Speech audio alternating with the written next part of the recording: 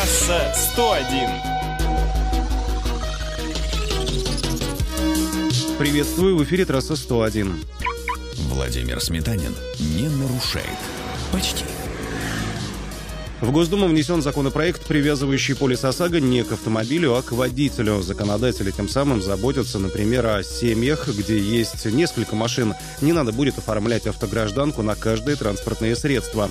Страховые компании выступают против такого шага. По их мнению, он может навредить юридическим лицам, в собственности которых находится много автомобилей. Кстати, аналогичные законопроекты были и ранее. Каждый раз они отклонялись. Трасса 101. Продолжение темы ОСАГО. По данным Российского союза автостраховщиков, с начала 2022 года полис автогражданки подорожал в среднем на 10-12%. Сейчас он обходится автовладельцам в среднем в 7 тысяч рублей. Основная причина увеличения стоимости заключается в росте цен на запчасти. В 2023-м, говорят страховщики, платить больше за ОСАГО придется начинающим водителям, а также тем, кто попадает в ДТП.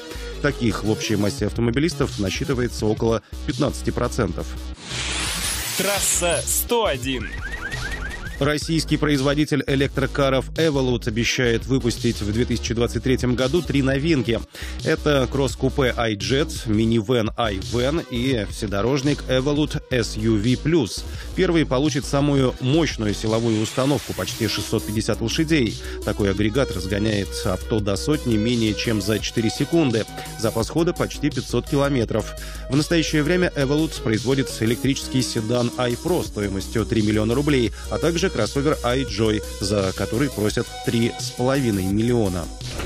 Трасса 101.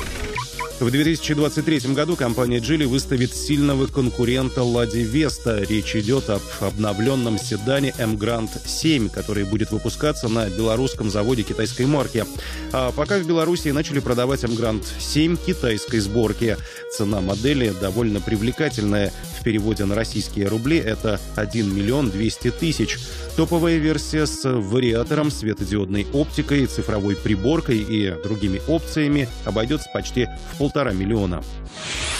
Трасса 101. Очередной китайский кроссовер добрался до России. Jetour X70 Plus в максимальной комплектации предлагается дилерами за 2 миллиона 100 тысяч рублей. Автомобиль приводится в движение полуторалитровым бензиновым мотором мощностью 156 лошадей. Трансмиссия автомат, привод только передний.